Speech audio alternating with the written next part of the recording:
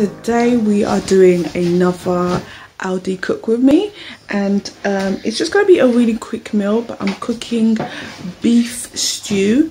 I think I might be adding spinach to it but we'll see, we'll see, we'll see. So we're going to be using lean diced beef. This is £4 um, 55 in Aldi. I did use a little bit yesterday. Um, someone else wanted to eat it yesterday. But yeah, usually it's a bit more than this.